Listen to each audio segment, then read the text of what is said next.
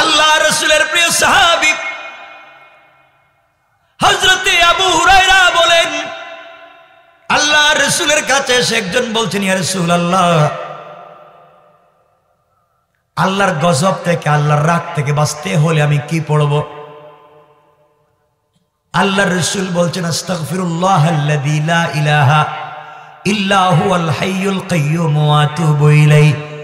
এতটুকুন পর্যন্ত দুনিয়ার জমিনে প্রত্যেক পাঁচ ওয়াক্ত নামাজের পরে সালাম ফিরিয়া যারা পড়বে, আল্লাহ বলেছে, এই গুলামের জবানকে জাহান্নামের আগুনে জ্বালাবেন না। আবু বকর বলছেন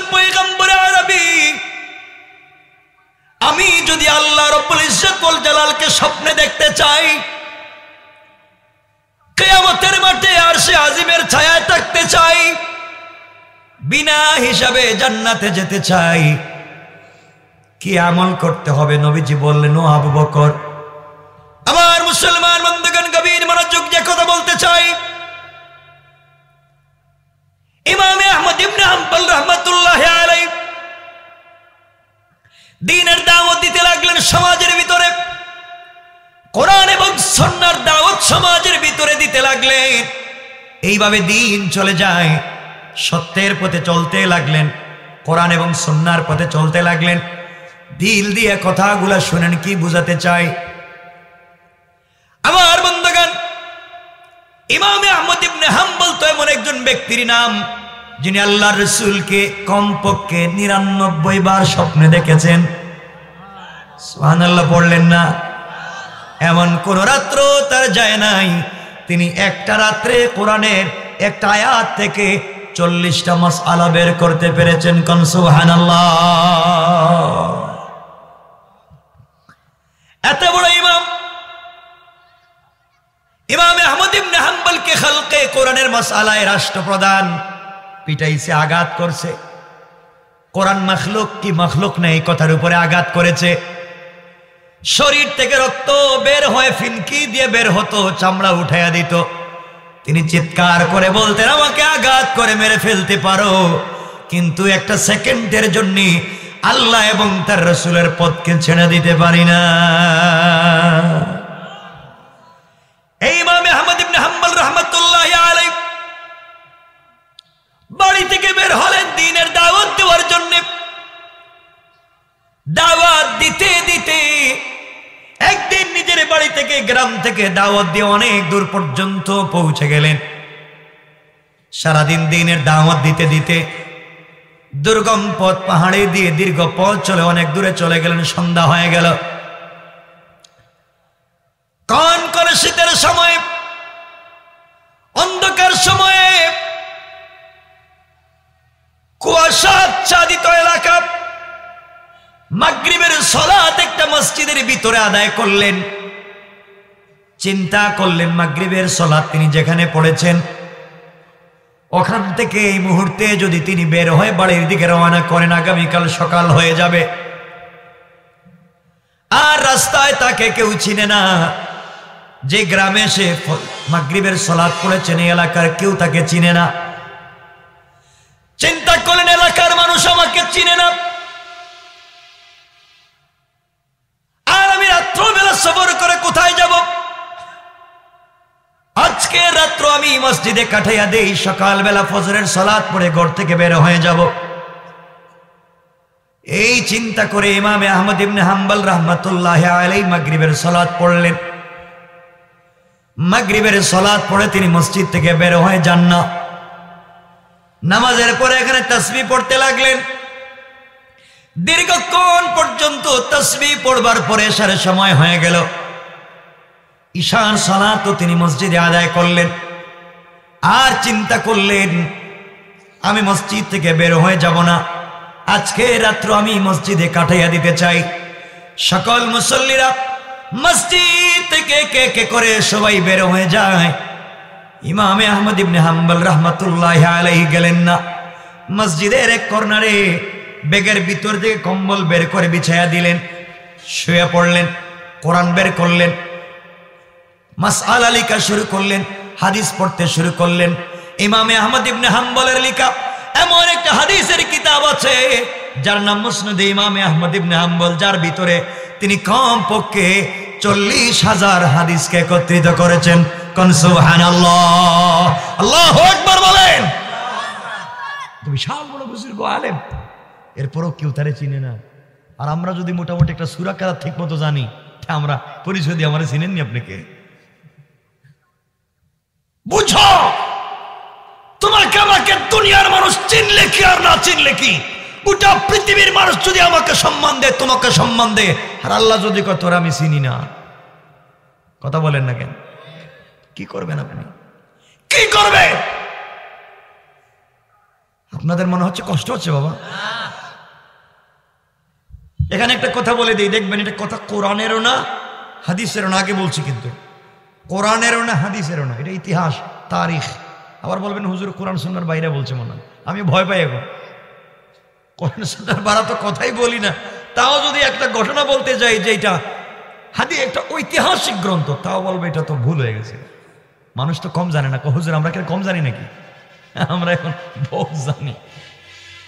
আমার বন্ধুগণ ইতিহাসের কথা, ওই যে বললাম, আমাদেরকে যদি দুনিয়ার সকল মানুষ চিনে আর আল্লাহ যদি কই চিনি না, তো কেয়ামতের দিন কে আপনারে বাঁচাইতো? কথা বলেন না কে? আজকে তো আপনাদের তো টেনশন নাই, আপনারা তো দুই পীরের কাছে মুরিদন। আসেনি দুইজন পীরের কাছে মুরিদে মানুষ। এই পিসাব নইলে ওই পিসাবে আমারে কেয়ামতের দিন বাঁচাইব। কসম! এই কোরআন আল্লাহ, কোরআন আল্লাহর কোরআন হাতে নিয়ে বলছি।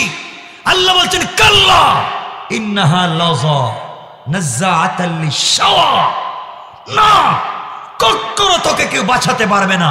উল্টা পাল্টা চলবো, পীরের কাছে সেজদা দিব, মাজারে গিয়ে লাইট জ্বালাইবা, মাজারের নামে গরু, ছাগল মান্নাত করবা। আমি তোমাকে জাহান্নামে দেব। কথা বলেন না কেন? কথা বলেন ঠিক কিনা? আল্লাহ বলছেন, কাল্লা, কখনো না। ইন্নাহা লাজা লেলিহা না করে দিবেন আল মারিজ আল্লাহ বলছেন, সোর আল মারিজ নাজ্জাআতাল লিশাওয়া এমন জাহান্নাম যে আগুনে চামড়া জ্বালাবে, হাড্ডি জ্বালাবে, গোস্ত জ্বালিয়ে ছাই করে দেবে, কিন্তু আমাদের আত্মা জ্বলবে না। আল্লাহ বলছেন, এক লক্ষ ছাগলের বাচ্চাকে যদি মাথা নিচের দিকে করে পা উপর দিকে উঠাইয়া এক লক্ষ জিন্দা ছাগলের বাচ্চার চামড়া টানলে টাইনা টাইনা শরীর থেকে চামড়া খসিয়ে দিলে যে কষ্ট হবে, যারা আমি ছাড়া অন্যকে সজদা করে আর মাজারে গিয়ে শিরিক করে, আমি আল্লাহ কেয়ামতে তাদেরকে লটকাইয়া মাথা নিচের দিকে করে, পা উপর দিকে দিয়া টাইনা টাইনা পায়ের বৃদ্ধাঙ্গুলির থেকে চামড়া মাথার দিকে নিয়ে আসব। নওয়াজুবিল্লাহ বলেন। সবাই বলেন নওয়াজুবিল্লাহ আমি ভুল বলতেছি বাবা। বলতেছিলাম, সবাই চিনে, আল্লাহ চিনেন না। তারিখের কথা হজরতে রাবে বসরিয়া। হাসান বসরির সময়কার একজন মহিলা, রাবিয়া বসরিয়া। একজন মহিলা, বিশাল বড় বুজুর্গ ছিলেন। ইন্তেকাল করলেন। তার খাদেমা বলছে, দাসী বলছে, ইন্তকালের পরে, কবর ফোন করার পরে তাকে আমি স্বপ্নে দেখলাম। খুব হাসি খুশি জান্নাতে ঘুরতেছে। জিজ্ঞেস করলাম, মা, আপনি জান্নাতে গেলেন? আল্লাহ কোনো প্রশ্ন করে নাই কবরে? প্রশ্ন তো করছে। কি উত্তর দিলেন? ওই সময় তিনি নাকি জবাব দিয়েছিলেন, "এ আমার খাদেমা! কবরের ভিতরে আমাকে রাখবার পরে ফেরেশতারা আমাকে এসে জিজ্ঞাসা করে, মার রব্বুকা তোমার রবকে আমি জিজ্ঞাসা করলাম, তোমরা কারা? তারা আমাকে বলছে, আমরা ফেরেস্তা আল্লাহর পক্ষ থেকে আসছি আপনাকে প্রশ্ন করতে। আমি জিজ্ঞাসা করলাম, তোমরা থেকে এসছো? তারা বলছে, আমরা হাজার হাজার লক্ষ লক্ষ মাইল দূর থেকে এসছি আপনাকে প্রশ্ন করতে। আমি বললাম তাদেরকে, তোমরা কি মনে করো? তোমরা হাজার হাজার লক্ষ লক্ষ মাইল সফর করে কবরের নিচে, মাটির নিচে কবরে আইসা তোমরা আমাকে জিজ্ঞাসা করতেছো আমার রব্বুক আমার রবকে? তোমরা এতক্ষণ পর্যন্ত তোমরা রবের নাম ভুলে যাও নাই। আর আমি রাবেয়া মাত্র জমিনের উপর থেকে সাড়ে তিন হাত মাটির নিচে আইসা কি আমি আমার রবকে ভুলে গেছি? সোহানাল্লাহ বললেন না? ইমান দেখাচ্ছি ইমান তারা আবার প্রশ্ন করেছে, বলেন মার রব বুকা তোমার রবকে? রাবিয়া বলছেন, শোনো ফেরেস্তা আমি যদি বলি আমার রব আল্লাহ, আমার রব? আর আল্লাহ যদি রাবিয়া তোরে চিনি না। তাইলে আমি আল্লাহরে সারাদিন রব বইলা লাভ কি? আমি বললাম আল্লাহর রব আমার রব আল্লাহ। আল্লাহ কই চিনে না। ফেরেস্তারা কোথায় কি করতাম? ওই গিয়া রব রবরে জিগাও আমি রাবিয়ারে চিনে নি। সোহান বললেন না। কি চিন্তা চিন্তা করছেন? দিন কোথায়? আমি বললাম আমি প্রধানমন্ত্রীর অমুক। পুলিশে আমার ধরছে বললাম প্রধানমন্ত্রীর অমুক। টেলিফোন দিছে প্রধানমন্ত্রীর কাছে আপনি চিনি না মুখ রে? কয়, আমি চিনি না। তাহলে কি মায়ের কমবো না বাড়বো? রাবিয়া যদি কয়, আমি আমার রব আল্লাহ আল্লাহ যদি কয়, চিনি না ফেরেস্তারা কি ছেড়ে দিব? কয়, বুয়া, তুই বুয়া পরিচয় দিলে কেন? রাবিয়া বসরিয়া বলছেন, ও ফেরেস্তারা আমার রবকে জিজ্ঞাসা করো, আমি রাবিয়াকে চিনে কি চিনে না? ফেরেস্তারা জিজ্ঞাসা করে, আল্লাহ, এমন একজনের কাছে পাঠাইছেন, উল্টা আমাদেরই জিগায়, আমরা করতে গেছি। এখন বললাম, আর রাব্বু কাকা আপনি চিনেন কিনা? ও কার কাছে গেছো? রাবিয়া আল্লাহ বলছেন, ও ফেরেস্তা শোনো। যাও আমার রাবিয়া কার প্রশ্ন করো না? যে রাবিয়া দুনিয়ায় থাকতে একটা মিনিটের জন্য আমি আল্লাহকে বলে যাই নাই। রাবিয়া কবরে আসছে, আমি রব তাকে বলে যাব না। তার নামই হচ্ছে পরিচয়। কথা আমার বুঝতেছেন? এজন্য চিনতে হবে কাকে। কথা বলেন কাকে? পারব তো ইনশাল্লাহ চিনবেন। আল্লাহ রাত্রবেলা ঘুম থেকে উঠ। আসসালাতু খায়রুম মিনান নাওম। ঘুম থেকে উঠ। তোর নাকি টাকা লাগবে? আমেরিকার একটা স্পন্সর লাগবে। কানাডার একটা সাপোর্টিং লেটার লাগবে। তো ইউকে স্টুডেন্ট ভিসায় যাবে, কোনো লাইন পাচ্ছিস না? আইএলস করার পরেও ভিসা হচ্ছে না। তোর নাকি বিজনেস করার টাকা লাগবে, তাও পাচ্ছিস না? তুই নাকি সমাজের নেতা হবে। তাও কি সম্মান দিচ্ছে না। আগুলাম দুনিয়ার কারও কাছে বলবার দরকার নাই। তুই গুনাহগার হলে তুই আমার গোলাম। আমি আল্লাহ বলছি আমি আল্লাহ ঘুমাচ্ছি না সজাগ। আমি তার ঘরের দরজায় দাঁড়িয়ে আছি। কি চাইবে চা আমি কথা দিলাম তোকে, এক হাজার গুণ বাড়াইয়া দেব। রবের কাছে চাও। কার কাছে চাও? রবের কাছে চাও। দুনিয়া কারও কাছে চাওয়ার দরকার নাই। আমার মুসলমান বন্ধুগণ, গভীর মনোযোগ। ইমামে আহমদ ইবনে হাম্বল রহমতুল্লাহ আলাই ইশার সালাত পড়ে মসজিদে শুইয়াছেন তসবি পড়ে মসজিদ থেকে বের হয়ে যান না। হাদিস পড়তেছেন, মসজিদের খাদে মসজিদের ইমাম অথবা কমিটির কেউ, কর্তৃপক্ষ কেউ এসে বলছে, কে আপনি? মুরব্বী কে আপনি মসজিদে, মসজিদ থেকে বের হয়ে যান। আমাদের মসজিদে রাত্র বেলা তালা দেওয়া হয়, কেউ ভিতরে থাকে না, আপনি বের হয়ে যান। ইমাম আহমদ ইবনে হাম্বল নিজের পরিচয় দিলেন না। তিনি বললেন, আমি প্রতীক মুসাফির, রাত্র গভীর হয়ে গিয়েছে। গভীর রাত্র হয়ে যাওয়ার কারণে আমি কোথাও যেতে পারব না। আজকের রাত্রে আমি মসজিদে কাটাইয়া দেই। আমি নিয়ত করেছি এই মসজিদে ফজরের সালাত আদায় করব। ফজরের সালাত পড়ে ওখান থেকে বের হয়ে চলে যাব। তোমরা আমাকে থাকতে দাও। ওখান থেকে আমাকে তাড়াইয়া দিও না। কেউ কারও কথা শুনে না এক পর্যায়ে। মসজিদ খাদে মতোবা মসজিদ কর্তৃপক্ষ কেউ বলছে, আপনি বের হয়ে যান। বের না হলে আপনাকে টেনে হিচড়ে মসজিদ থেকে বের করে দেওয়া হবে। ইমামে আহমদ ইবনে হাম্বল রহমতুল্লাহ আলী বুঝতে পারলেন বেইজ্জত হওয়া ছাড়া কোনো পথ নাই। তিনি আস্তে করে মসজিদ থেকে বের হয়ে গেলেন। মসজিদ থেকে বের হয়ে গভীর রাত্রবেলা সুজা হাঁটতে লাগলেন। ক্ষণ ক্ষণে শীতের সময় অন্ধকার রাস্তা কোথায় যাবেন? কেউ তাকে চিনে না কার বাড়িতে যাবেন? প্রতীক মুসাফির রাস্তা দিয়ে হাঁটতে লাগলেন। দীর্ঘ পথ হাঁটবার পরে গভীর রাত্রে একটা বাজারে গিয়ে উপস্থিত হলেন। বাজারের সবগুলো দরওয়াজা বন্ধ। তিন পতন নিরবতা বিরাজ করছে। গভীর রাত্র হয়ে গিয়েছে। ঠান্ডার কারণে পথ চলতে তিনি পারতেছেন না। এরপরে বের হয়ে হাঁটতে লাগলেন। বাজারে কোনো দোকান খোলা নাই। সবগুলো দোকান বন্ধ আছে, কেউ কোনো মানুষ নাই।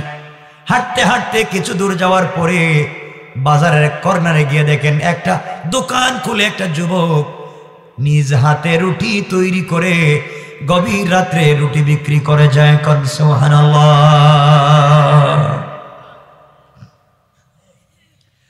আস্তে আস্তে করে তিনি রুটি বিক্রেতার কাছে চলে গেলেন।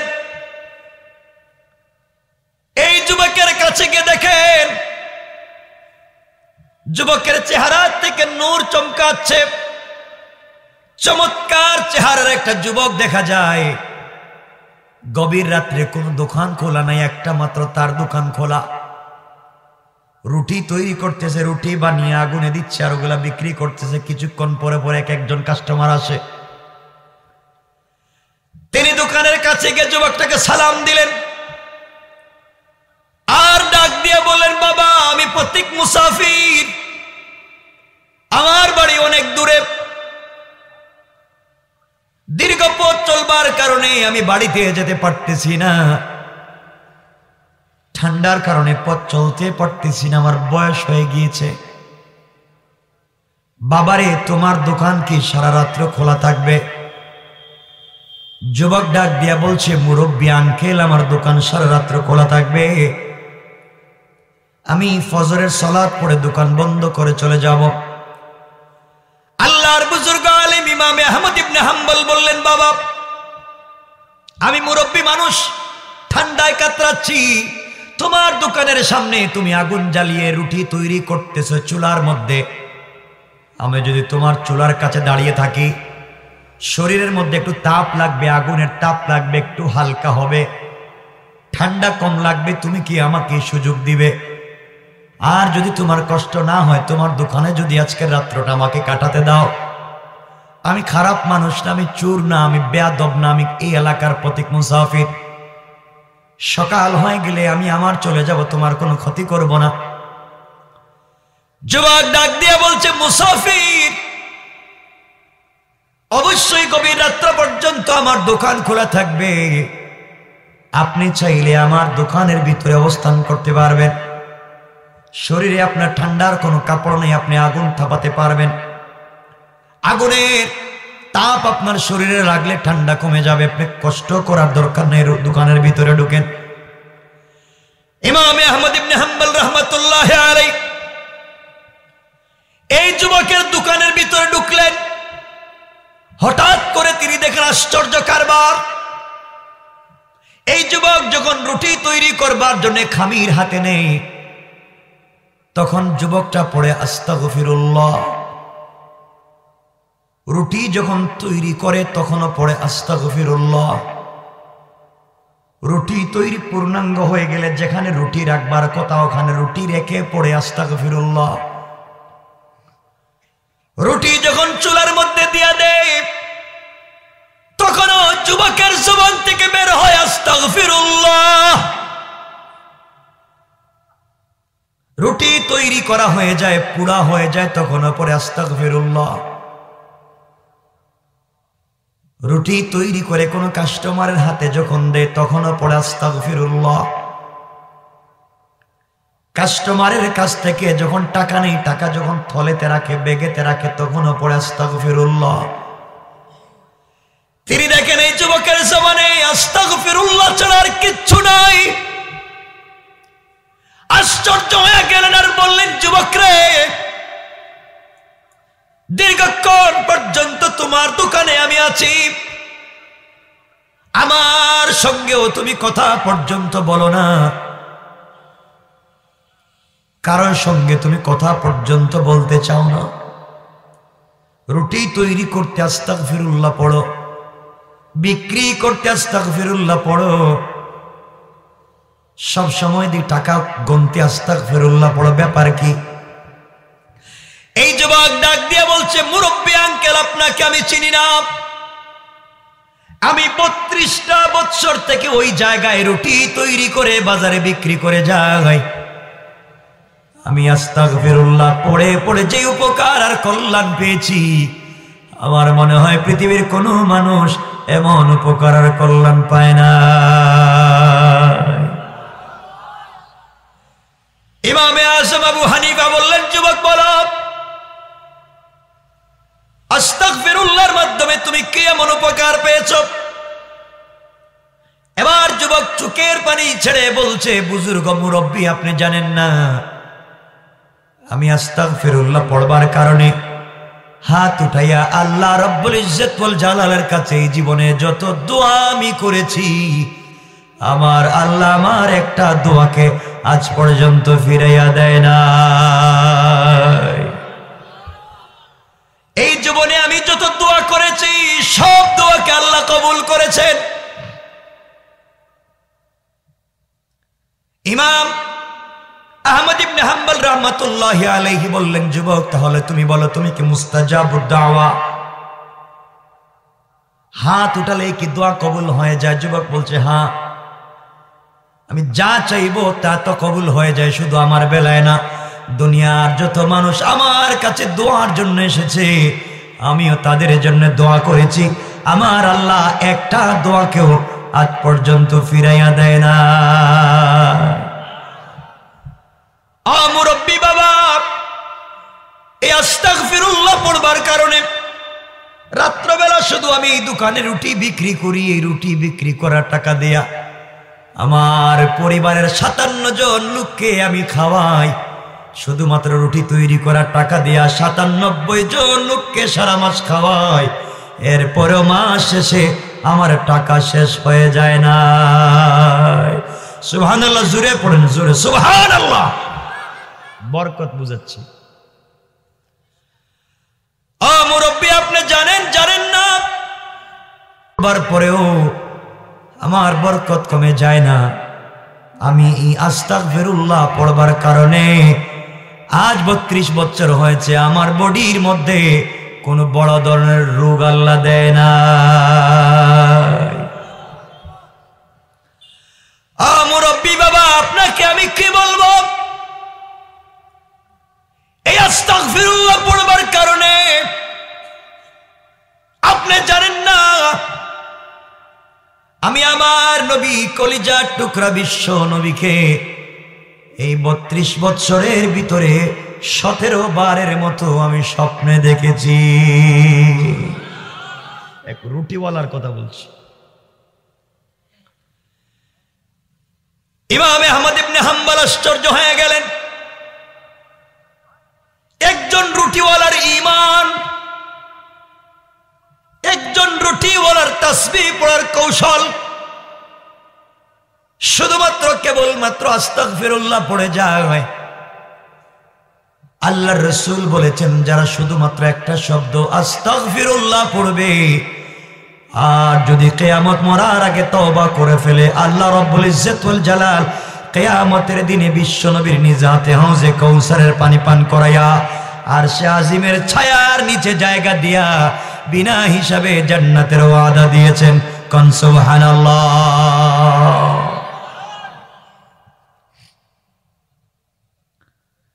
আল্লাহ রসুলের প্রিয় সাহাবি হজরতে আবু হুরাইরা বলেন, আল্লাহ রসুলের কাছে এসে একজন বলছেন, ইয়া রসুল আল্লাহ আল্লাহর গজব থেকে, আল্লাহর রাগ থেকে বাঁচতে হলে আমি কি পড়ব? আল্লাহ রসুল বলছেন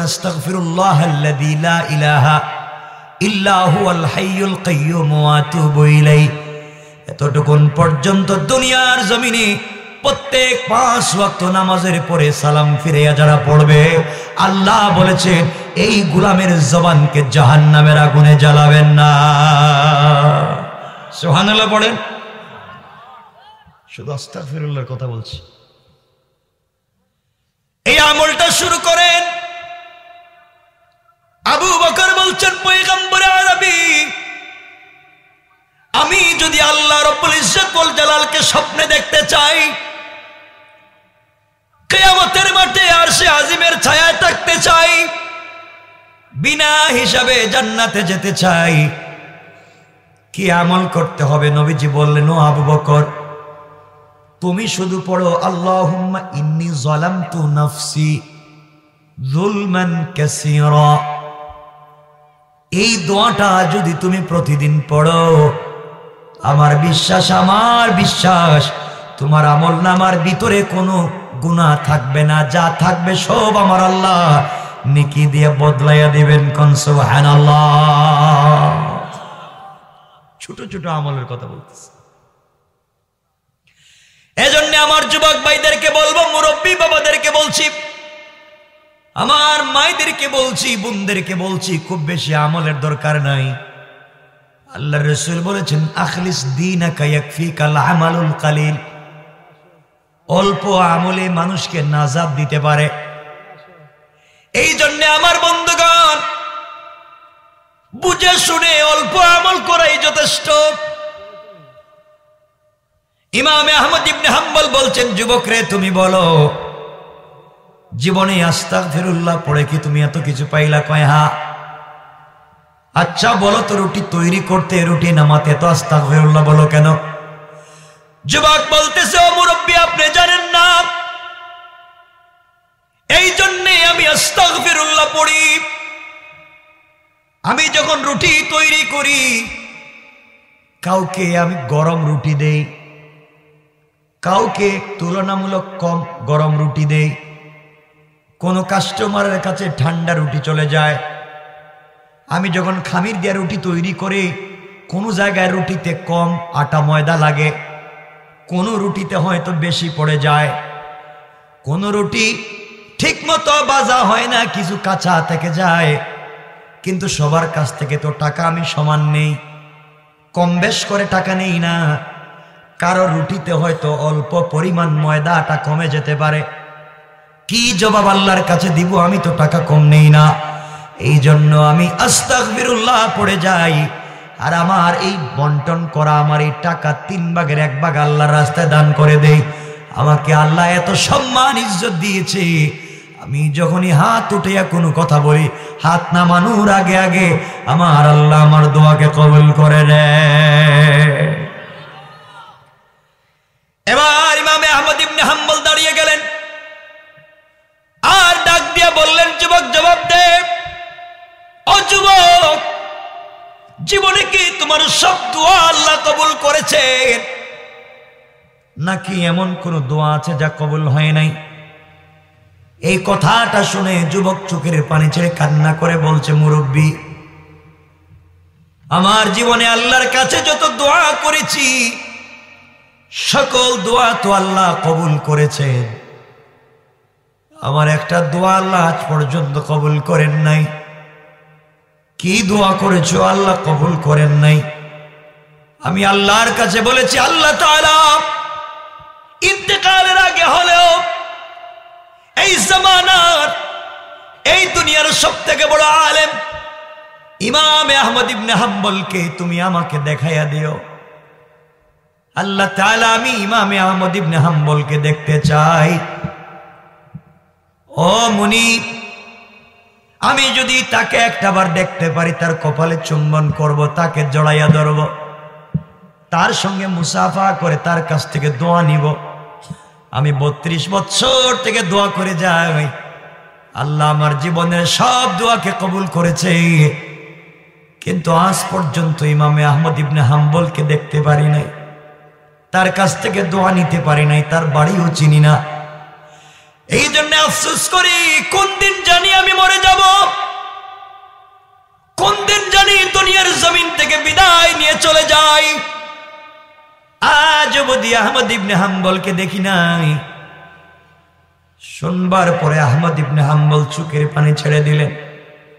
আর যুবকটাকে জড়াইয়া বললেন, যুবক রে, আর কান্না লাগবে না। তুমি ইমামে আহমদ ইবনে হাম্বলকে দেখার জন্য তার বাড়িতে যাওয়া লাগবে না, তার খানকায় যাওয়া লাগবে না। বরং আল্লাহ রব্বুল ইজ্জতুল জালাল তোমার দোয়াকে কবুল করে। আহমদ ইবনে হাম্বলকে তার বাড়ি থেকে বের করে সারাদিন ঘুরাইয়া ঘুরাইয়া আর একটা মসজিদে মাগরিব এবং ঈশার নামাজ পড়াইয়া মসজিদ থেকে বের করে দিয়া তোমার দোকানে আইনা। এই মুহূর্তে তোমার সামনে দাঁড় করাইয়া ইমামে আহমদ ইবনে হাম্বলকে রেখে দিয়েছেন কোন? সুবহানাল্লাহ। যুবক ডাক দিয়ে বলছেন, তাহলে বলেন আপনি কে? ইমামে আহমদ ইবনে হাম্বল বললেন, যুবক রে, তুমি যে আহমদ ইবনে হাম্বলের জন্য দোয়া করছ, আমি সে ইমামে আহমদ ইবনে হাম্বল। যুবক কপালে চুম্বন দিয়ে বুকের সঙ্গে জড়ায় মুসাফা করে, হাতে চুম্বন করে আর বলতেছে, বুজুর্গ আলেম, আমার জীবনে আস্তাগফিরুল্লাহ আল্লাহর কাছে বলে যা পাইছি ভুলার মতো নয়। এবার ইমামে আহমদ ইবনে হাম্বল বলছেন যুবকরে কোন মুসলমান প্রতিদিন পাঁচ ওয়াক্ত সালাতের পরে সালাম ফিরেয়া যদি তিনবার, সাতবার এগারো বার তেরো বার একুশ বার আস্তাক ফিরুল্লাহ পড়ে, ঘুম থেকে উঠে তিনবার, সাতবার আস্তাক ফিরুল্লাহ পড়ে ঘুমানো, ঘুমাতে যাওয়ার সময় বিছানায় গিয়ে তিনবার, সাতবার এগারো বার আস্তাক ফিরুল্লাহ পড়ে। আল্লাহ রব্বুল ইজ্জাতুল জালাল বলেছেন বিষ ঘুমানোর পরে তার বিছানার মাথার সামনে এবং পায়ের সামনে উনিশ জন ফেরেস্তা দিয়া সারা রাত্র তার পাহারাদারের ব্যবস্থা করে দেয়। সোহান জুড়ে পড়েন সোহান কি কি আমল? শুধু আস্তাক বেরুল্লাহ আপনাদের কষ্ট হচ্ছে? বারোটা হয়ে গেছে। কি ভাই, কেউ আসতেন নি না? আরে, বারোটা হয়ে গেলে কেউ অস করা যায় নাকি আপনাদেরও তো কষ্ট হইতেছে দেখতেছি। এতক্ষণে একটা আমল বলছি। কষ্ট হচ্ছে? হাত ওঠান দেখি, কার কার কষ্ট হচ্ছে? এতক্ষণ কি বাস করলাম? কষ্ট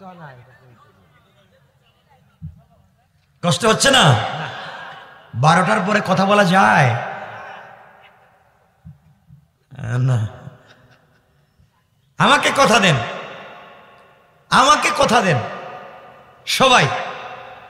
প্রতিদিন একবার হলে আস্তাগফিরুল্লাহ বলবেন। বলেন ইনশাআল্লাহ। সবাই হাত উঠান, সবাই হাত উঠান, বলেন আল্লাহ। তোমারে কথা দিলাম। তোমাকে ভুলে যাব না। আল্লাহ, কেয়ামতের দিনে আমাদেরকে ভুলে যাইও না। আমিন। হাত নামান কারণ আল্লাহ যদি কেয়ামতের দিন ভুলে যায়, কেউ আসেনি যে আপনাকে আমাকে জান্নাতে নিবে? কেউ আছে? মুরব্বী বাবাদেরকে বলছি, বাপ, দাড়ি তো সাদা হয়ে গেছে। এর অর্থ কি জানেন? গাছে ধরে যখন গাছের পাতা পেকে যায় অথবা ঝরে যায় এর মানে গাছ বেশি দিন থাকবে না। আপনারা তো একটা অঙ্গ পেকে গেছে মানে কি হয়েছে এর হায়াত শেষ। যুবক ভাইদেরকে বলছে, শুনো। ও সব বুন্না সব বিফে ইবাদতিল্লাহ। রাত্রেবেলা ইবাদতে কাটাইয়া দাও। রাত্রেবেলা ইবাদতে কাটাইয়া দাও। মুরব্বী বয়সে একশো বৎসর ইবাদত করলে যেই সব জোয়ান বয়সে একটা রাত্রে একটা শেষ সেজদা করলে তার চাইতে বেশি সব জোয়ানিকে কাজে লাগাও। জোয়ানি কাজে লাগাও।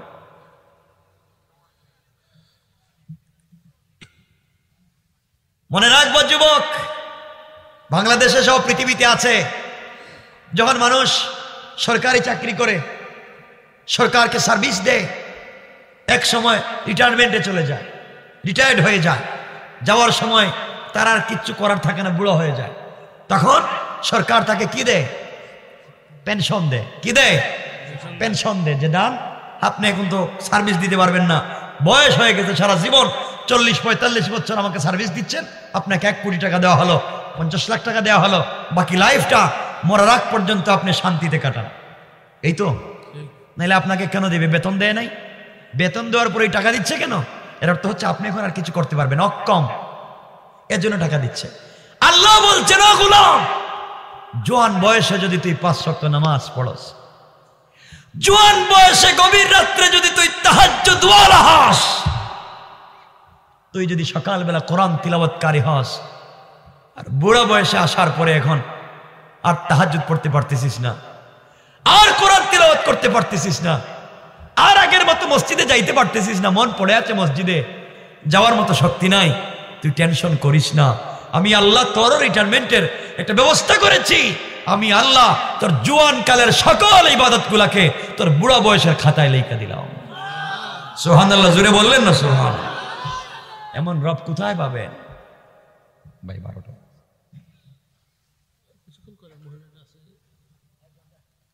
আমার বন্ধুগান কথা এতক্ষণ যা বলছি, এই কথা এর জন্য বলছি। আল্লাহ যে বলছেন, কিছু লোক আছে দুনিয়ায় যারা কোরআন শুনতে দেয় না, আমরা আজকে দেখাই দিব, এই কোরআন শুনেই মানুষের দিলকে চেঞ্জ করা যায়।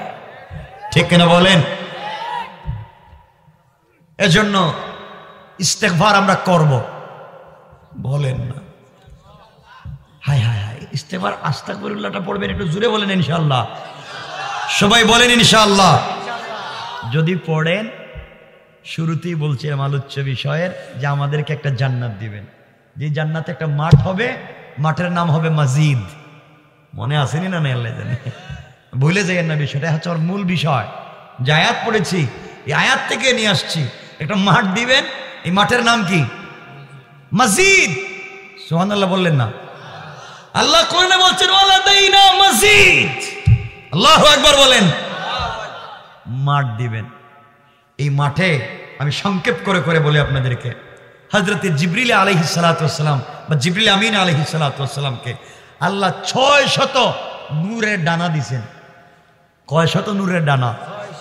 ছয় শত নূরের পাকা দিছেন। এই জিবরিল আমিন বলেন, আমার এত শক্তি আল্লাহ রব্বুল ইজ্জতুল জালাল কোরআনে কারীমের ভিতরে বলছেন, ইন্নাহু লাকাউলু রাসূলিন কারীম দি কুওয়াতিন ইনদা জিল আরশি মাকিন। আল্লাহ বলছেন জিবরিল আমিনের এত শক্তি, এত এত এত শক্তি হে পুরা দুনিয়াটাকে তার আঙ্গুলের মাথায় এইভাবে ইশারা করলে উল্টাইয়া দিতে পারে। সোহানাল্লাহ বলবেন না আপনারা? কষ্ট নাই তো আপনাদের? একজন উঠবেন বৈশা রয়েছেন ভালো কথা মাশাল্লাহ একজন উঠবেন, প্রস্রাবে ধরলেও। খবর আছে কিন্তু। আমি তো যাইতেছি না, প্রস্রাবে কি আমার ধরতেছে না? আমি যাইতেছি না, আপনারা যাইবেন কেন? জিব্রিল আমিনের এত শক্তি। মনে রাখবেন, শুধু নিজের জন্য যদি ইবাদত করেন, শুধু নিজে জান্নাতে যাবেন, নিজে জান্নাতে যাবেন। এই ইবাদত যদি কেউ করেন, জান্নাতে যাইতে পারবেন না। উম্মতের জন্য চিন্তা করতে হবে, জাতির জন্য চিন্তা করতে হবে, এলাকার মানুষের জন্য চিন্তা করতে হবে। ঠিক কিনা বলেন? এই চিন্তা যদি ঠিক হইয়া থাকে আপনাদের এলাকায় হিন্দু আসেনি? একজন হিন্দুরে নিয়ে আসছেন ওয়াজে? দাওয়াত দিছেন এদেরকে যে, ভাই ওয়াজ হবে আইসেন। তা আপনারা স্বার্থপর কেন? যে আপনি জান্নাতে যাইতে চান, আর এই লোকগুলা মানুষ না? এরা জান্নাতে যাওয়ার দরকার নেই। রসুল সারা জিন্দগি কানলেন, উম্মত উম্মত উম্মত, একটা মানুষের জন্য দুনিয়ার জাহান নামে না যায়, সব মানুষ যেন জান্নাতে যায়। এই চিন্তা রসুলের ছিল না? আপনার নাই কেন? আপনি তো আছেন শুধু শুধু সারাদিন তার বিরুদ্ধে। কেন? এই লোকগুলার কে জান্নাতে নিয়ে যাবে? উম্মতের দরদ ভিতরে নেন। কে কোন ধর্ম পালন করে এটা বুঝার আপনার কোনো দরকার নাই। আপনি জানবেন সে মানুষ কিনা। আপনি জানবেন সে মানুষ কিনা।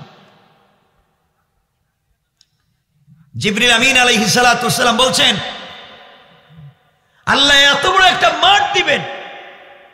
এই মাঠের ভিতরে তিনি তার ছয় শত নূরের ডানা দিয়া, তিনি বলেন, আমি যদি এক জায়গায় দাঁড়িয়ে আমার ছয় শত নূরের ডানা এভাবে করি, নড়াচড়া করা লাগে না। পৃথিবীর এক প্রান্ত থেকে অপর প্রান্ত আমি নাগাল পাই। সোহানাল্লাহ রাস্তা কইলে চলবো। সোহানাল্লাহ একটু জুড়ে পড়েন। এই জিবরিল আমিন বলছেন আমি আমার ছয় শত নূরের ডানা একবার নিচ থেকে টান দিয়ে যদি উপর দিকে উঠাই, তাহলে যে স্পিরিট হয়, এই স্পিরিটে এক হাজার বৎসরের রাস্তা পার হয়ে যাওয়া যায়। কি শক্তি দেখতেছেন? একবার টান দিলে এক হাজার বছরের রাস্তা যায়। হাত এভাবে বড় করলে ওটা দুনিয়া ভরে যায়। এই জিবরিলে আমিন বলেন আল্লাহরে বললাম, আল্লাহ, তুমি নাকি জান্নাত বানাইছো? আল্লাহ বলেন হ বানাইছি তো। কি করবে? আল্লাহ বলেন দেখাই দাও না, জান্নাতটা কেমন দেখে আসি? আল্লাহ বলেন জিব্রাইল, যা। জান্নাত দেখে ঘুরে লাভ নেই, আমার একটা মাঠ আছে, এই মাঠটা দিকে আয়। বললেন না। আল্লাহকে মাঠ দিয়ে আমি কি করব? আমি তো হাত দিলে গোটা দুনিয়া লাগাল ভাই আর আপনি আমার মাঠের কথা বলছেন? আল্লাহ দেখিয়া। জিবরিল আমি বললাম, আমি মাঠে গেলাম। মাঠে গিয়া আমার ছয় শত নূরের ডানা এইভাবে লম্বা করলাম, কিছু পাই না। জোরে বলেন না। আমার প্রস্রাব নাই, টয়লেট নাই, ঘুম নাই, নিদ্রা নাই, সব বাদ দিয়া চব্বিশটা ঘণ্টা মিলাইয়া সত্তরটা বৎসর একাধারে সত্তরটা বৎসর আমার ছয় শত দূরের ডানা দিয়া টানলাম আর দৌড়লাম, কিন্তু মাজিদ নামে মাঠের আগা মাথা উত্তর দক্ষিণ কিচ্ছু খুঁজে পাই নাই। সোহান আল্লাহ জুড়ে পড়েন না সোহান কত বছর? সত্তর বছর। কি পাওয়ারফুল কি মাঠ। আল্লাহ বলছেন, গোলাম, এই দিব। একটু জোরে কন্যা সমান মাঠে কি করবেন আপনারা? মাঠ দিয়ে কি করবেন? কিছু কয় না। আরে গান শুনতে চাইলে গান শুনতে পারবেন। আল্লাহ বলছেন, গানের ব্যবস্থা আছে, এখানে গান হবে, জান্নাতে গান হবে। তো গান শুনলে মাতাল হবেন না, গান শুনলে নাচবেন না, ভালো লাগবে। আল্লাহ বলছেন, দুনিয়া মদ খাইতে নিষেধ করছি না তোমাদেরকে? আমি কিন্তু তোমাদেরকে মদের ব্যবস্থা রাখছি সরবম তহরা। পবিত্র মদ রাখছি, খাইলে মাথা খারাপ হয় না, আরও ভালো লাগে। সোহানুল্লাহ বললেন না। আল্লাহ বলছেন, গোলাম, তোরে বলছি তুই ব্রেসলাইট পরবে না, এরপরে নাকফুল কানের দুল, এগুলা দিস না। দিস না দুনিয়া এগুলো মহিলাদের। দিস না, জান্নাতে আয়। আমি আল্লাহ তোকে ডায়মন্ড দিয়া, হীরা জবরদস্ত ইয়াকুত মণি মুক্ত পাথর দিয়া, আমি আল্লাহ তৈরি করে তোরে ব্রেসলেট বানাইয়া দিব। সুবহানাল্লাহ করনা সব দিবেন, দুনিয়ায় না জান্নাতে। জান্নাতে পাওয়ার আগে আপনারা এখনই শুরু করে দিছেন। পাইবেন কেমনে? এই জিব্রিলে আমিন বলছেন, আল্লাহর কাছে বললাম, আল্লাহ, এটা মাঠ বানাইছো তুমি, এটার আগামাতা কিছুই পাইলাম না। তোমার এই গুলামদের কি মাঠে দিবা? আল্লাহ একটা মাঠ না রে, আমার এক একটা জান্নাত থেকে এইভাবে একশোটা মাঠের ব্যবস্থা আমি আল্লাহ করে দেব। আপনার এখানে কি করবেন? ভুট্টা চাষ করবেন আটা ময়দা লাগাইবেন নাকি? আল্লাহ বলছেন, সব ফ্রি খাওয়াইমু। তোর কাজ হচ্ছে শুধু ঘোরা ঘোরা। আল্লাহ গাড়ি দিবেন তিন প্রকারের গাড়ি। একটা গাড়িতে থাকবে একটা চাক্কা, একটা গাড়িতে দুটো চাক্কা, একটা গাড়িতে চারটা চাক্কা থাকবে। একটা গাড়িতে এক সিট ডাবল সিট এর উপরে সিট থাকবে না। এর অর্থ হলে আপনার পার্সোনাল কোথাও যাইতে চাইবেন, এক সিটের গাড়ি নিয়ে যাইবেন। বৌরে নিয়ে যাইতে চাইবেন ডাবল সিটের গাড়ি দিবেন। বুঝলাম না। বোয়াপুরের মানুষ বউর কথা শুনে তোর কিছু কয় না। মানে সবসময় একা একা থাকবেন ভোরে নিয়ে থাকার কোনো চিন্তা নাই আপনাদের। কেন এগুলো করেন কেন? বোর সাথে ভালো ব্যবহার করেন, এই বেছাড়িরে নিয়েও জান্নাতে যান। আল্লাহ বলছেন, গোলাম তা না, এই তাফসিরগুলো তো পাগল হয়ে যাবে। শুধু তা না, আমি আল্লাহ তোকে বসার জন্য চেয়ার দিব। সুমান এটা কাঠের কোনো চেয়ার না। প্লাস্টিকের না, বেতেরও না। আল্লাহ বলছেন, এই চেয়ার হবে হীরা, মণি, মুক্তা জবরজত ইয়াকুত পাথর দিয়ে তৈরি করা। এক একটা চেয়ার জমিন থেকে আসমান পর্যন্ত উঁচা। সুরায় ওয়াকে আর তাফসিরে আল্লাহ বলছেন, চেয়ার কিন্তু একটা দিবেন না, দুইটা। কয়টা? তো দুইটা চেয়ার আপনি এক চেয়ারে বইবেন আর এক চেয়ারে পা দিয়ে রেখে দিন নাকি? সিস্টেম নাই। আল্লাহ বলছেন, দুটা চেয়ার দিব, পাশাপাশি নয়, সামনাসামনি। কান রসুল আল্লাহ বলছেন, আমি আমার বন্ধুকে নিয়ে কথা বলছি ফাঁকা বা কৌসাইনি ও আদিনা। সামনাসামনি বসে, তোমাদেরকে দুটা চেয়ার দিব। তো চেয়ারে আমার এটা কি হেলে দুলে? এদের শক্ত, নড়ে না কিছু না। আল্লাহ বলছেন, আমি যে চেয়ার দেবো, এটা স্প্রিং সিস্টেম এভাবে দিলেই নড়াচড়া করবে। না সুমন বাদ দিয়ে দেন। আল্লাহ বলছেন সামনাসামনি দুটা চেয়ার দিব এক চেয়ারে তুমি আর এক চেয়ারে তোমার। কন্যা, কথা কন্যা কেন? বউ, স্ত্রী। এক চেয়ারে তুমি নিজে আর এক চেয়ারে স্ত্রী। দুইজনে ভাবে বসবেন। মধ্যখানে কিন্তু টেবিল থাকবে না। তাহলে সার কাপ করে রাখবেন? আল্লাহ বলছেন, বান্দা, তোর চেয়ারের সাথে আমি সিস্টেম করে এখানে দিব। কাপ রাখার ব্যবস্থা করে। সুমান না দুজন বসবেন। গল্প গুজব করতেছেন আচ্ছা কোন তো খালি মুখে কি গল্প জমে? কিছু হয় না। কিছু তো খাওয়া লাগবে। আল্লাহ বলছেন, চা, কফি। ইয়াতুফু আলাইহিম উইলদানুম মুখাল্লাদুন। ও পাগল! আমি আল্লাহ বহুত পান পাত্র রাইকা দিছি এখানে। ছোট ছোট ছেলেরা এসে ঘুরবে। ছোট ছোট গিলমানের এসে ঘুরবে।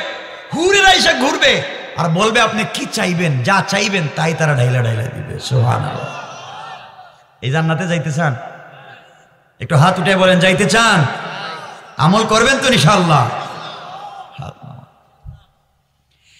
এই জিবরিল আমিন বলেন, এত এত ক্ষমতা আমার থাকবার পরে আল্লাহ দুনিয়ার জমিনে আমাকে তিনবার পাঠালেন। পৃথিবীতে এত শক্তি আর ক্ষমতা থাকবার পরে পৃথিবীতে যাইতে আমার কষ্ট হয়েছে। জিবরিলে আমিন বলছেন, দুনিয়ার জমিনে যাইতে তার কষ্ট হয়েছে কয়বার? কথা বলেন। এক নম্বর। জিবরিল আমিন বলছেন, আল্লাহ রব্বুল ইজ্জতুল জালাল আমাকে ডাক দিলেন। ওই সময়ে, যেই সময় নমরুদ ইব্রাহিম আলাইহিস সালাতু সালামকে উলঙ্গ করে আগুনের মধ্যে ছেড়ে দিয়েছে, চরকার থেকে ছড়ক গাছ থেকে আগুনে ছেড়ে দিয়েছে, উলঙ্গ করে। নিচে আগুন উপরে দড়ি। দড়ি থেকে ছেড়ে দিয়েছে। দড়ি থেকে ইব্রাহিমকে ছেড়ে দিয়েছে। নিচে কি? কথা বলেন না। এত বড় আগুন চল্লিশ কিলোমিটার পর্যন্ত কোনো পশু পাখি উড়ে যেতে পারে না। আগুনের থাপে জ্বলে পুড়ে মরে যায়। এই আগুনের ভিতরে ইব্রাহিম সালামকে ফেলে দিত আল্লাহ ডাক দিয়া বলেন, জিবরাইল, তুমি কোথায়? জিবরাইল বলছেন, আল্লাহ আমি সিদ্রাতুল মুনতাহায়। না সুবহানাল্লাহ বাদ দেন, কেমন? সিদ্ধাতুল মুন্তা মনে হইতেছে, বুইয়াপুর বাজারের স্ট্যান্ডের কাছে মনে করল যে আর সুবহানাল্লাহ কইছে, সুবহানাল্লাহ একটু জুড়ে বলেন না। আল্লাহ বলেন, জিব্রাইল, তুমি কোথায়? আল্লাহ, আমি সিদ্রাতুল মুনতাহায়। সিদ্রাতুল মুনতাহা কোথায় শুনেন? সাত আসমান রয়েছে। এক একটা আসমানের মধ্যে হাজার হাজার বছরের ফাঁকা জায়গা রয়েছে। এইভাবে সকল আসমান পার হইয়া সপ্তম আকাশ থেকে হাজার হাজার মাইল দূরে যাওয়ার পরে একটা জায়গা আছে সিদ্রাতুল মুনতাহা। মানে সিদ্রাতুল মানে কুল গাছ বড়ই গাছ, ইন্তেহা, মুনতাহা মানে শেষ প্রান্তরের। এর অর্থ হলো পৃথিবীর শেষ প্রান্তরের বড়ই গাছ। আল্লাহ রব্বুল ইজ্জতুল জালাল উপরে পৃথিবীর শেষ প্রান্তে একটা বড়ই গাছ লাগাইয়া রাখছেন। কন সুবহানাল্লাহ। এই শেষ প্রান্তরের বড়ই গাছের নিচে, ওই জায়গার নাম সিদ্রাতুল মুনতাহা। জিবরিল আমিন বলছেন, আল্লাহ, আমি তো সিদ্রাতুল মুনতাহায় বড়ই গাছের নিচে। সিদ্রাতুল মানে কুল গাছ বড়ই গাছ। বড়ই গাছের নাম যেহেতু আইলো, আধা মিনিটে বইলে দিই। আমাদের যে বড়ই ধরে ধরে নি আপনাদের এলাকায় বলে এই বড়ইর মতো বড়ই না। নবীজি বলছেন, এক একটা বড়ই মুহাদ্দিসিনে কেরাম লিখেন, এক একটা বড়ই দুনিয়ার পাল্লায় ওজন দিলে দশ মন থেকে সত্তর মন জোরে পড়ে না এটা ওজন। আর এক একটা বড়ের পাতা হাতির কানের চাইতে দশ গুণ বড়। এখানে নবীজিও গিয়েছিলেন। নবীজির ওয়াজ করলে আর আরেক লাইনে চলে যাইব। এই গাছের নিচে নবীজিও গিয়েছিলেন মেয়ারাজের রাত্রে। ওখানে গিয়ে তিনি মুসকি মুসকি এমন হাসি দিচ্ছেন তার হাসিতে দাঁতের অগ্রভাগ বের হয়ে গিয়েছিল। তো জিবরিল আমিন বলছেন, হাসছেন কেন? হাসতেছেন কেন? রসুল বলছেন, জিব্রাইল, জানিস না, গাছের নিচে আইসা দেখি, আল্লাহ যে আমার জন্য এত পাগল আমি জানতাম না। গাছের নিচে আইসা দেখি, প্রত্যেকটা গাছের পাতায় পাতায় পাতায় পাতায়, যেখানে আল্লাহর নাম, ওখানে আমি রসুলের নাম। কি সম্মান রসুলের, আহারে! এগুলো তফসির অনেক লম্বা বিষয়। যাই হোক। জিবরিল আমিন কই? সিদ্রাতুল মুনতাহা। আমার মুসলমান বন্ধুগণ, জিবরিল আমিন এই পৃথিবীতে সকল মত অনুযায়ী চারবার কেউ বলছেন, তিনবার, আমরা চারবারের কথা বলব। কেউ বলছেন, জিবরিল আমিন পৃথিবীতে আগমন করতে কষ্ট হয়েছে, চারবার। কেউ বলছেন, তিনবার। আমরা দুটা মতকে নিয়ে যাব। জিবরিলে আমিন বলছেন, আল্লাহ তাআলা, আমি তো এই মুহূর্তে আছি সিদ্ধাতুল মুনতাহায়। আল্লাহ বললেন, জিবরাইল রে, আমার বন্ধু ইব্রাহিমকে নমরুদ আগুনে ফেলে দিয়েছে। কয়, আল্লাহ, কোন জায়গায় আগুনে? কয়, দুনিয়ায়। ও, দুনিয়ায়? আগুনে? কি করছে? আল্লাহ বলেন, চড়ক গাছ থেকে ছেড়ে দিছে। উলঙ্গ করে ছেড়ে দিয়েছে। নিচে আগুন মাত্র এক, দুই হাত বাকি আছে ছেড়ে দিছে, এখন পড়ে যাচ্ছে। এক, দুই সেকেন্ডের ভিতরে, গর্তের ভিতরে পড়ে যাবে। আল্লাহ, আমি কি করব? কই জিব্রাইল, জান্নাতে যা। জান্নাতে গিয়া জান্নাত থেকে পোশাক নে। পোশাক নিয়ে আমার বন্ধুর জন্য নিয়ে যা। জিব্রাইল বলতেছেন, আল্লাহ তাআলা, কই সিদরাতুল মুনতাহার কই জান্নাত? আর কই দুনিয়ায় নমরুদের আগুন? আমি কেমনে যাই? সুবহানাল্লাহ বললেন না। জিবরিল আমিন বলেন মরে তো সত্যি আল্লাহর এই কথা শুনে। ছয় শত নূরের ডানা একবার টান দিলাম। এক টানে জান্নাতুল ফিরদাউসে ঢুকে জান্নাত থেকে পোশাক নিয়ে দুনিয়ার দিকে দৌড় দিলাম, আবার টান দিলাম। টান দিয়া এসে দেখি চুকের পলক পড়ে যাওয়ার আগে আগে। ইব্রাহিম নমরুদের আগুনে পড়ে যাওয়ার আগে আগে আমি গিয়ে সাথে সাথে আমার পোরটা তার নিচে বিছাইয়া দিলাম। সুবহানাল্লাহ জুড়ে পড়ে কি শক্তি। জিবলে আমিন বলছেন, চুকের পাতা মারতে যতক্ষণ লাগে, তার ভিতরে সিদ্ধাতুল মুনতাহার থেকে জান্নাতে গেছি। জান্নাত থেকে কাপড় নিয়ে ইব্রাহিমের জন্য গিয়ে পৌঁছে গেছি। আগুনে পড়ার আগে আগে আমি বসাই দিই। কও। এক নম্বর। দুই নম্বর, আরেকবার সেইম ইব্রাহিম আল ইসলাম সন্তান ইসমাইলকে নিয়ে মিনায় চলে গিয়েছেন। তিনি স্বপ্নে দেখেছেন, তার সন্তানকে তিনি কোরবানি করতেছেন। স্বপ্নে দেখলেন কোরবানি করবার জন্য মিনায় নিয়ে গিয়েছেন। আপনারা ঘটনা জানেন, ঘটনা বলব না। সন্তান কোরবানি দেওয়ার কথা শুনে তিনি উট জবাই করছেন, একবার, দুইবার, তিনবার। আল্লাহ শুধু বলেন, ইব্রাহিম রে, কলিজার টুকরা, প্রিয় জিনিস, কোরবানি করো।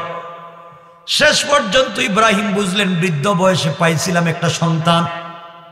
মনে হয় সেই সন্তানকে কোরবানির কথা আল্লাহ বলছেন। এই জন্য ইব্রাহিম সন্তানকে সাথে নিয়ে মিনার প্রান্তরে পৌঁছে গেলেন। গলার মধ্যে সুরি বের করে লাগাইয়া দিচ্ছেন। ইব্রাহিমের ইব্রাহিম গলা ছুরি লাগাইয়া দিবেন, ইসমাইলের আল্লাহু আক। কি বলছে? আল্লাহু আক বলছে, বার এখনও বাকি আছে। তাইলে সুরি মোটামুটি গেছে কা গলার কাছাকাছি, নাকি? কথা বলেন না কেন? আল্লাহ বলছেন, জিব্রাইল কই? আল্লাহ আমি তো সিদ্ধাতুল মুনতা কয় থাকো তুমি এখানে।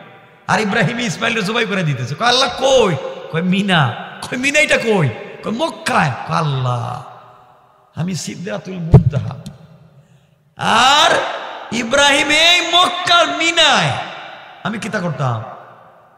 জিব্রাইল, একটু যাও না জান্নাতে। আল্লাহ, গিয়া। জান্নাতে গিয়ে একটা দুম বানাও। দুম্বাও একটা নিতাম। আর কি? একটা লোহার টুকরা নেও। নিয়া। কয়েকগুলা নিয়ে দেখবা ইব্রাহিম ইসমাইলের গড়ায় ছুরি লাগাই দিচ্ছে। তার ছুরির নিচে এই- লোহার টুকরোটা লাগাই দিবা। পোষ দিলে আর ইসমাইলকে কাটবে না। সে বলেন। দুম্বাটা রাইকা দিয়ে আল্লাহ, আমি কই? ইসমাইল কই? জান্নাত কই? আমি যাইব কোন দিন? কই যাও! জিবরিল আমিন বললেন, ওই সময় আমি ছয় শত নূরের ডানা এমন ভাবে টান দিলাম, টান দিয়ে পৌঁছে গেলাম জান্নাতে। একটা দুম্বা নিলাম, লোহার টুকরা নিলাম। লোহার টুকরা নিয়া টান দিয়েছি। ইব্রাহিম শুনলাম, আল্লাহ আক বলে ফেলছে, বার বলে লাগায় দিবে। এর ভিতরে আমি আইসা তার চুরির নিচে লোহার টুকরো লাগাইয়া দিলাম। এখানে আরও কথা আছে। জিবরে আমির আল্লাহকে বলছেন, আল্লাহ তাআলা লোহার টুকরা দিতে বললেন কেন? আল্লাহ বললেন, জিব্রাইল রে, আমার বন্ধু স্বপ্নে দেখছে, তার সন্তানকে জবাই করতেছে। কি দেখছে? সন্তানকে জবাই করতেছে, স্বপ্নে দেখছে, গলার মধ্যে গোসাইতেছে স্বপ্নে দেখছে, কিন্তু কাটছে কি কাটছে না তা দেখে নাই। আর আমি আমার বন্ধুর স্বপ্নকে সত্য বানাতে চাই। এই জন্য গসাইতে দেখছে, গসাতে দিবা। কিন্তু নবী হও, অলি হও চাক্কু দিয়া কাটলে মনে কাটে না। এটা কাটবে না মনে হয়? আল্লাহ কাটবে তো। স্বপ্নে দেখছে, গোসাইতেছে, পুষ দিতেছে, নবী হলে কি হবে? আল্লাহ আকবার বলে টান দিলে তো কাটবে। এই জন্যে আমি আল্লাহ তাকে স্বপ্নে দেখাইছি, গসানো পর্যন্ত। ইব্রাহিমকে গসানোর সুযোগ দিলাম। গসাইলে তো ইসমাইল কেটে যাবে। এই জন্যে আমি আল্লাহ তার চাকুর নিচে লোহা বসাইয়া দিতে বলেছি। জিব্রাইল বলেন, আমি এত কষ্ট করে গেছি।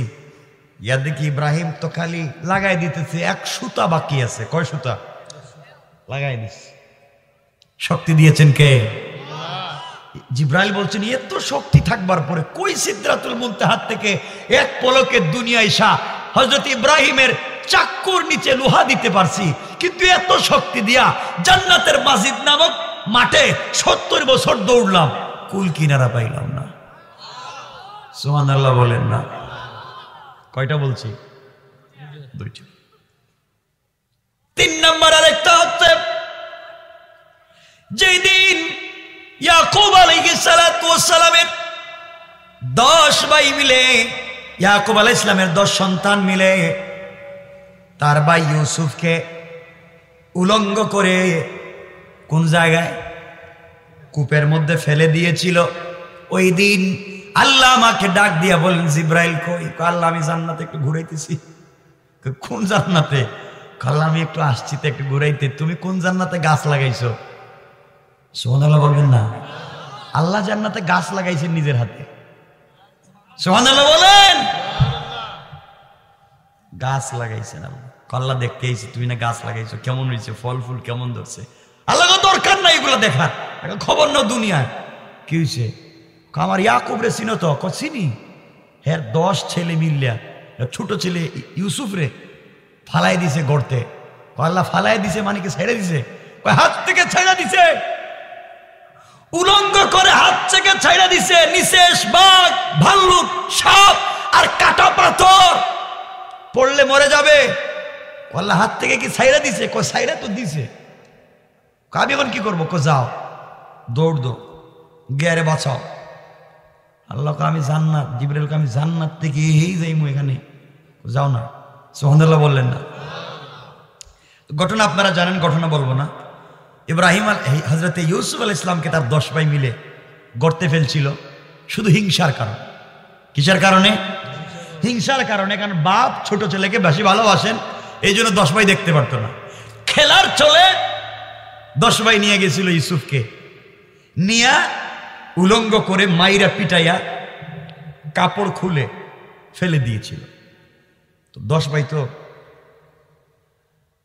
আল্লাহ বলছেন, বিদামিন কাজিবিন মিথ্যা রক্ত। আসার সময় রাস্তায় এসে একটা ছাগল জবাই করিয়া ছাগলের রক্ত দিয়া, পাঞ্জাবি, গেঞ্জি, যাই হোক, ভালো করে লাল করে বাবার কাছে গিয়ে কাঁদতেছে খাব্বা কি হয়েছে আমরা নিয়ে গেছিলাম ইউসুফরে ঠিকই খেলবার জন্য, ইউসুফরে বাগে খাইছে। মনে রাখবেন, চুর, ডাকাত যত বড় শিক্ষিত হোক না কেন, চুরি করার পরে, হত্যা করবার পরে একটা আলামত রেখে যায়, যেন তারা ধরা যায়। যত বড় শিক্ষিত হোক, একটা ভুল করবেই সে। ঠিক কিনা বলেন? চোর ডাকাত যত বড়ই শিক্ষিত হোক, অপরাধীরা অপরাধ করে একটা আলামত রেখে যায়। তো তারা দশ ভাই মিলে ইউসুফ আল ইসলামকে গড়তে ফেলে, মিথ্যা কথা বলে বাবার কাছে গিয়ে কানতেছে যে ইউসুফের বাগে খাইছে, এই যে রক্ত লাগান। বাঘ বলে, না হারে এমন শিক্ষিত তো দুনিয়ার জমিনে আর দেখলাম না। আমার ইউসুফ রে পাঞ্জাবির ভিতর থেকে বাইর করে খাইলো। কিন্তু পাঞ্জাবিটা ফাড়লো না। সোহান বললেন না। পাঞ্জাবি দেখি যেমন আছে, তেমনই আছে। যে পাঞ্জাবির ভিতর থেকে আস্ত একটা মানুষ বাইর করে খায় বালাইলো পাঞ্জাবিটা দিকে আগের মতোই আছে। আল্লাহ তাদের মেমোরি থেকে দূর করে দিয়েছেন। তারা চাইলে এই পাঞ্জাবিটা সিঁড়িয়া টুকরা টুকরা করে বাবার কাছে নিয়ে যাইতে পারতো না। কিন্তু তারা ভুলেই গিয়েছে। আল্লাহ ভুলেই দিয়েছেন। আসামিদেরকে ধরবার জন্য। সুমান খান ইব্রাহিম বলেন, শয়তানি বুঝছি। এই হজরত ইয়াকুব বললেন, শয়তানি বুঝছি। যাই হোক। আমার মুসলমান বন্ধুগণ, গভীর মনোযোগ। হজরত জিবরিল আমিন দৌড়াইয়া গর্তের কাছে এসে দেখেন হজরত ইউসুফ আলাহ ইসলামকে ফেলে দিয়েছে। মাত্র এক সুতা বাকি আছে, নিচে সাপ। কাটা পাথর পড়লে মারা যাবেন। দৌড়াইয়া এসে সাথে সাথে তিনি পড়ে যাওয়ার আগে আগে জিব্রাইল তার পরটা বিছাইয়া দিয়েছে এখন সুবহানাল্লাহ। জিব্রাইল এবার বলছেন, ইউসুফ, তোমারে কে মারছে? আমার ভাই মারছে। তোমার ভাইরা তোমাকে মারলো কেন জানি না। আমার আব্বা শুধু আমারে ভালোবাসে তো, এজন্য আমারে মারে। তোমার কাপড় কই? উলঙ্গ কেন? আমার ভাইয়েরা কাপড়গুলো নিয়ে গেছে। আল্লাহর কাছে বলছেন, আল্লাহ ইউসুফ তো উলঙ্গ। কাপড় কই? আপনি বললে তবে জান্নাত থেকে কাপড় আনতাম। আল্লাহ বললেন, ও জিব্রাইল, কাপড় আনতে হবে না। আমার ইউসুফের গলা, হাত চেক করো। গলা অথবা হাতে দেখো, তাবিজ বলছি না। মানে আল্লাহ কা তামিমাতান ফাকাদ আশরাকা। যারা অন্যায়ভাবে তাবিজ জুলায় তারা শিরিক করে, এটা হাদিস হয় মানে আল্লাহ তামিমাতান ফাকাদ আশরাকা। পরিষ্কার বলে দিলাম। কিন্তু ওটা তাবিজ না। বললেন, দেখো আমার ইউসুফের গলায় অথবা হাতের মধ্যে কবজের মতো একটা ছোট্ট জিনিস আছে। এটার ভিতরে কাপড় আছে। ওই কাপড় বের করে ইউসুফকে পরাইয়া দাও। বলেন। কবজের ভিতরে আবার কাপড় আইব কেমনি? এত ছোট কবজ। আছে? জিবরিল আমিন কুস্তে গেলেন। হাই হাই সাড়ে বারোটা বলছে ভাই। না না এরা এতক্ষণ শুনলে কি কাজ হবে নাকি? আরে না আমি কি প্লাস্টিক নাকি তা? হ্যাঁ, এতক্ষণ কথা বলব। কষ্ট হচ্ছে না? না কয়। না না আমি রেখে দিব লম্বা করব না ভাই শোনেন। আমি গড়ি ঠাকাইছি না তো এটা তো কয় ঘণ্টা হইতেছে? দুই ঘণ্টার উপরে হয়ে যাচ্ছে না? হাই হাই হাই এটা কি টাইম টুম ঠিক মতো দেখে না নাকি তা? আমার বন্ধুগণ, শুনেন কি বলতে চাই? যে হজরতে জিব্রিল আমিন কুস্তে লাগলেন, কবজের মতো একটা পাইলেন কল্লা পাইছি তো। এর ভিতরে কি, কয়ের ভিতরে কাপড় আছে? কয়ের ভিতরে কেতে বড় পাঞ্জাবি আছে? কম, আছে। হজরতে জিবরিল আমিন খুললেন, দেখেন কাপড়ের মতো দেখা যায়, হাতে নিলেন, টানলেন, বড় হয়, টানলেন, বড় হয়। টানতে লাগলেন টানতে লাগলেন, বড় একটা পাঞ্জাবি হয়ে গিয়েছে। সুহানাল্লাহ বলেন। আল্লাহ বলেন, জিব্রাইল, জানোসনি? জিব্রাইল বলছেন, আল্লাহ, আপনি না জানাইলে আমি কেমনে জানব? আল্লাহ বলেন, জিব্রাইল রে, ওই যে ইব্রাহিমকে আগুনে ফেলে দেওয়া হয়েছিল, তুই যে জান্নাত থেকে কাপড় নিয়ে গিয়েছিলে, ওই কাপড়টা আমি আল্লাহ ফিরাইয়া দুনিয়ায় আনি নাই, জান্নাতে আনিনে রেখে দিয়েছিলাম। ইব্রাহিম ওই কাপড়টাকে বরকত মনে করে তার ছেলে ইসহাককে দিয়েছিলেন। ইসহাক এটাকে বরকত মনে করে তার ছেলে ইয়াকুবকে দিয়েছিলেন। আর ইয়াকুব ইব্রাহিম ইসহাকের কাপড়কে বরকত মনে করে লম্বা করে লম্বা হয়, ছোট করলে ছোট হয়। এটাকে বরকত মনে করে, রহমত মনে করে তিনি তার ছেলে ইউসুফকে দিয়েছেন কনসুহান আল্লাহ এটাই পোশাক পড়লেন কয়বার বলছি? তিনটা। আরেকটা রয়েছে বাকি না? ওইটি বইলেই শেষ। বাবা, আর মাফ চাই। আমার মুসলমান বন্ধুগান গভীর মনোযোগ। চার নম্বরটা বইলা দিব? চার নাম্বার। জিবরিল আমিন বলেন, চতুর্থবার পৃথিবীতে আসতে আমার কষ্ট হলো। সব থেকে যে এবার বেশি কষ্ট হয়েছে চতুর্থবার।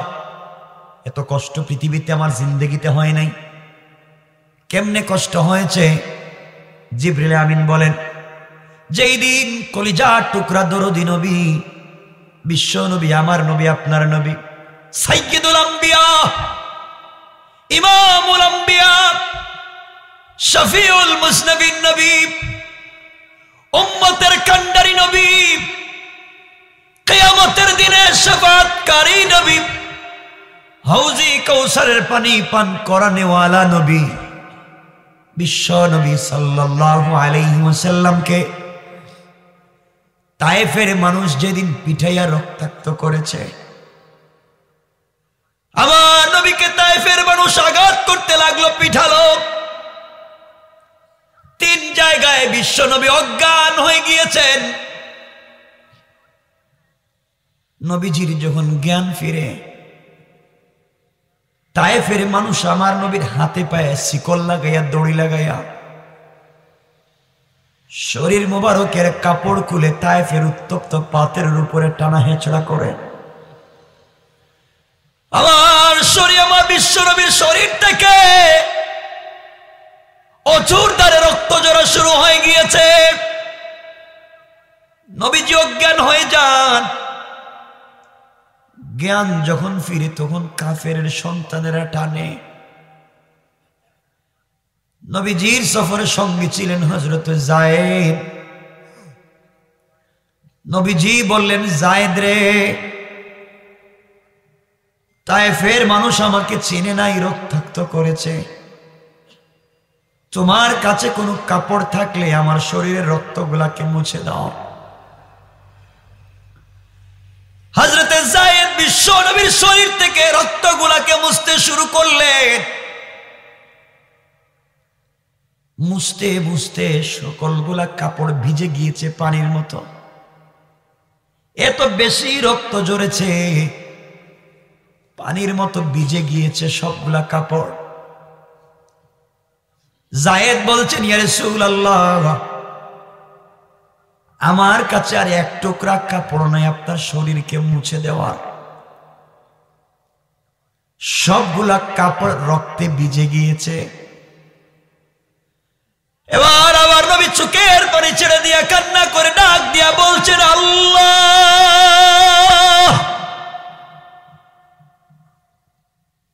নিজের হাত দিয়া শরীরের রক্তগুলাকে মালিশ করতে লাগলেন। কাপড় আর নাই সকল কাপড় রক্তে ভিজে গিয়েছে। নিজের হাত দিয়া শরীরের মধ্যে রক্তগুলাকে মালিশ করতে লাগলেন জায়েদ চোখের পানি ডাক দিয়া বলছেন অগ পৈগম্বর অগ বিশ্ব নবী! যার শরীরে মাছ মশা, মাছি মশাকে আল্লাহ হারাম করেছেন। সেই নবীজির শরীর থেকে রক্ত ঝরছে। এর সুল আল্লাহ আমার কাছে আর কোন কাপড় নাই। যেই কাপড় দিয়ে আপনাকে মুছে দিব, আপনি রক্ত মালিশ করলে তো ভিতরে যাবে না। যে রক্ত শরীর থেকে বের হয়, তার ভিতরে যায় না। আপনি কেন শরীর রক্তগুলাকে বডিতে আবার মালিশ করে দেন? নবীজি বলছেন, জায়দ রে আমি নিজেও জানি আমার বডির রক্ত আর ভিতরে যাবে না। যেই বডি থেকে রক্ত বের হয়েছে আর ভিতরে যাবে না। আমার নবীকে যখন মা এসা মাঝে মাঝে গোসল করাতেন, রসুলের পিঠের দিকে তাকাইয়া চোখের পানি ছেড়ে কান্না করে জড়াইয়া বলতেন, স্বামী আমার আল্লাহ আপনাকে আসমানের চন্দ্র সূর্যের চাইতে বেশি সুন্দর করেছেন কিন্তু আপনার বডিতে কালো কালো দাগ বসন্তের দাগের মতো কেন? নবীজি ডেকে ডেকে বলতেন আয়সা রে, আমার জীবনে বসন্ত হয় নাই। কালিমার দাওয়াত দেওয়ার কারণে, ইসলামের দাওয়াত দেওয়ার কারণে আমার জাতির মানুষ, নানা বাড়ির মানুষ তাইফের মানুষ আমার বডিতে পাথরের যে ঝড়িয়ার বৃষ্টি দিয়েছে, ওগুলা সব পাথরের দাগ। আমার নবীর বডিতে পাথরের দাগ পড়ে গিয়েছে।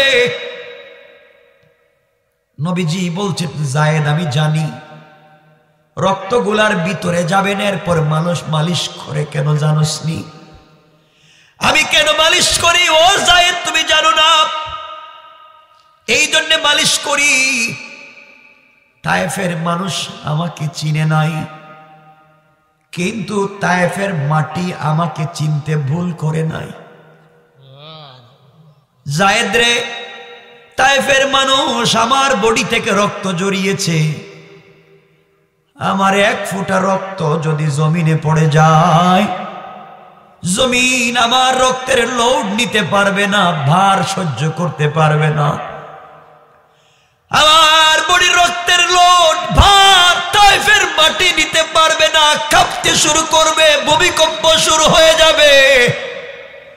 সাথে সাথে জমিনে কেয়ামত কায়েম হয়ে যাবে। এই জন্যে আমি চাই আমার বডি থেকে যেন এক ফুটা মাটি জমিনে বডি থেকে যেন এক ফোঁটা রক্ত জমিনে না পড়ে। পড়ে গেলেই তো কেয়ামত কায়েম হয়ে যাবে, ভূমিকম্প হবে। তাই ফের মানুষ আর বাঁচবে না। এরা যদি মরে যায়, কার কাছে আমি কালিমার দাওয়াত দিব? কার কাছে কালিমার দাওয়াত দিব? এই লোকগুলা হয়তো আমাকে চিনে না, কিন্তু আমার বিশ্বাস এমন একদিন আসবে রে, জায়েদ এমন একদিন আসবে, যেই দিন এই ব্যক্তিদের সন্তানরাই কোরআনের জন্য জীবন দিতে প্রস্তুত হয়ে যাবে। জিবরিল আমিন এসে বলছেন এক একজন ফেরেশতা এসে বলছেন, আমাকে বলেন তাইফের দুই সাইডের পাহাড় একত্রিত করে মেরে ফেলি। আরেকজন এসে বলছেন, পয়গাম্বরে আরবি আমাকে বলেন আমি ভূমিকম্প দিয়ে সবাইকে ধ্বংস করি। কেউ বলছেন, আল্লাহর পয়গাম্বর আমাকে বলেন, আমি বৃষ্টির সাথে শিলা বৃষ্টি দিয়ে হত্যা করি। ইসরাফিল বলছেন, ওগো আল্লাহর পয়গাম্বর, আপনি আমাকে বলেন, সিংহায় ফু দিয়া কিয়ামত করে দেই। যেই মানুষ আপনাকে চিনে না, এই জমিনে মানুষ রেখে লাভ নাই। আমার নবী ডাক দিয়ে বললেন, শুনো, তোমরা যদি সবাইকে মেরে ফেলো, আজাব দিয়ে আমি কার কাছে কালিমার দাওয়াত দেব? কারে নিয়ে আমি জান্নাতে যাব আল্লাহ না একটা জান্নাত বানাইছে আমি কারে নিয়ে জান্নাতে যাব আমার নবীর বডি কাঁপতেছে শরীর থেকে রক্ত জড়তে জড়তে তাও বিশ্ব নবী দুইটা হাত উপর দিকে উঠে আল্লাহকে বলছেন আল্লাহ আল্লাহ হুম্মা গফির লিকৌমি فإنهم لا يعلمون আল্লাহ, আমার জাতি আমাকে চিনে নাই। আমাকে আঘাত করেছে। আমি তাদের সবাইকে মাফ করে দিলাম। যখন শরীরের মধ্যে রক্ত মুছতে লাগলেন, মালিশ করতে লাগলেন, এমন সময় নবীজির পায়ের মধ্যে যে চামড়ার মোজা ছিল মোজার ভিতরে রক্ত, জমাট বেঁধে গিয়েছে, রক্তে মোজা ভরে গিয়েছে। শরীরের রক্তগুলা মুছতে পারলেন, কিন্তু মুজার রক্ত মুছতে পারলেন না। আল্লাহ আসমান থেকে তাকাইয়া দেখেন, আর সে মোয়াল্লার থেকে তাকাইয়া দেখেন, তার বন্ধুর পায়ের নিচে। তার বন্ধুর পায়ের নিচে মুজা থেকে এক ফুটা রক্ত। লটকা লটকি করতেছে, কখন জানি জমিনে পড়ে যায়। নবীজি পা নড়াচড়া করলেই রক্তের ফুটা জমিনে পড়ে যাবে। আল্লাহ চিৎকার করে বলছেন, জিব্রাইল, তুমি কোথায়? এই মুহূর্তে আমার নবীজির রক্ত যদি পা থেকে জমিনে পড়ে যায়, আমার জাতের কসম গোটা দুনিয়া খেয়ামত করে দেব। জিব্রাইল যারে দুনিয়াবাসীকে বাঁচাতে হলে নবীজির পায়ের রক্ত যেন জমিনে না পড়ে। জিব্রাইল বলছেন, আল্লাহ, আমি কোথায় সিদ্রাতুল মুনতাহায়? নবীজি তায়েফে। আর পায়ের নিচে থেকে এক ফুটা রক্ত জমিনে পড়তে তো এক সেকেন্ডের এক কোটি ভাগের এক ভাগও লাগবে না। এক সেকেন্ডের এক কোটি ভাগের এক ভাগও লাগবে না, এর উপরেই তো পড়ে যাবে। আল্লাহ বলছেন, জিবরাইল, শোনো। বন্ধুর এমনি কষ্ট দিয়েছে, রক্ত জড়েছে আর যদি রক্তের ফুটা জমিনে পড়ে যায়, আমি কাউকে রাখব না।